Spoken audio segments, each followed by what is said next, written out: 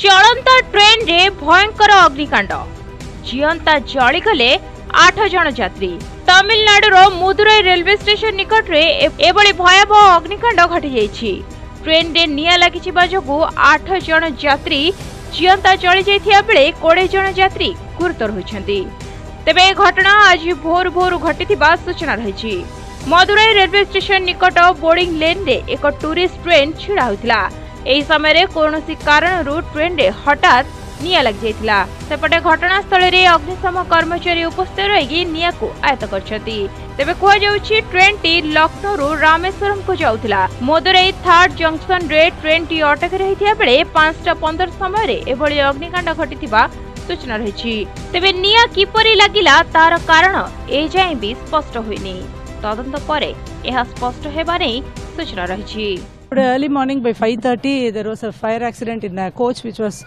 uh, halted here at Madurai uh, railway station.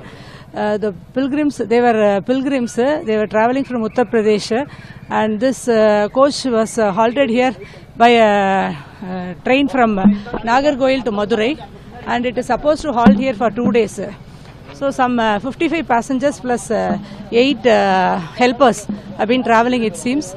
And today morning when they tried to uh, make coffee uh, for them when they lighted the stove the, the, there was a blast of the cylinder it seems. And uh, due to this there was a casualty. And uh, others were, were rescued. Some 55 people were rescued. And uh, as of now we have retrieved nine bodies from inside the coach eh and among them it is five uh, male and uh, three female and one we could not identify the body and remaining rescue operations going on.